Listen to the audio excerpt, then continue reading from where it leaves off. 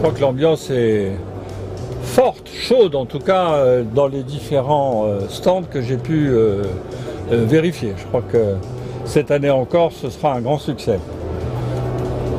C'est un événement important parce que ça montre le lien entre la population, le peuple français et son agriculture.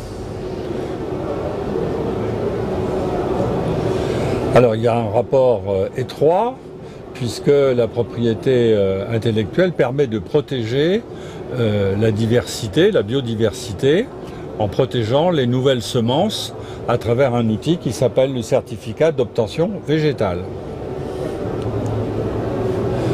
La filière semences est très importante dans, l'agriculture française et même dans l'économie française puisqu'elle représente euh, la France est le premier pays exportateur mondial en matière de semences et cela doit représenter au moins un milliard d'euros, sinon plus.